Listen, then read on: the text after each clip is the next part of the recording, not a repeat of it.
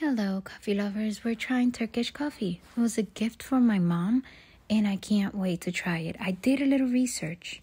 And if I screw it up, I am so, so sorry, and I hope you can correct me.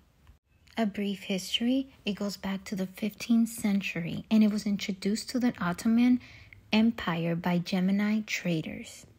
Traditionally, it is made by mixing fine ground coffee, cold water, and sugar on a pot called the sedzvek, which you see here, which was placed on top of hot sand to heat up the coffee mixture and constantly move. But here we're using a stove because I don't have that. Turkish coffee is considered a tradition because it's been a part of the cultural, social fabric of the region for centuries. This is my first time exploring Turkish coffee, and it's a way to appreciate their culture, not to disrespect it.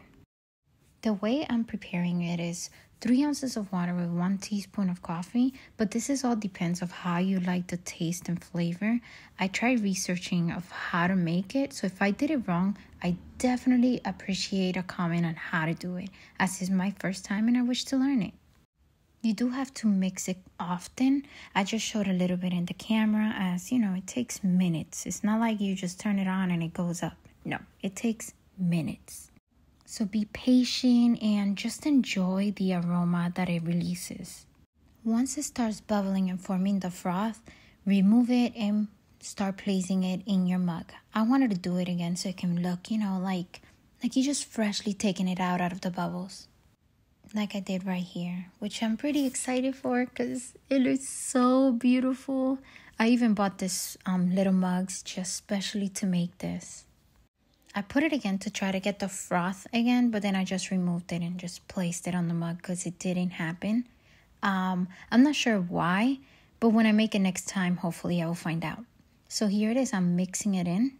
Do you know that Turkish coffee contributed to the coffee house culture in Europe during the 17th century, with England witnessing um, opening its first coffee house in 1652?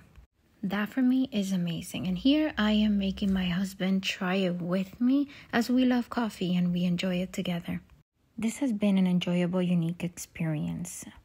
It has a rich and intense taste with a hint of bitterness, and it's a little bit sandy on the texture, but it just adds all that together and it's a very enjoyable experience.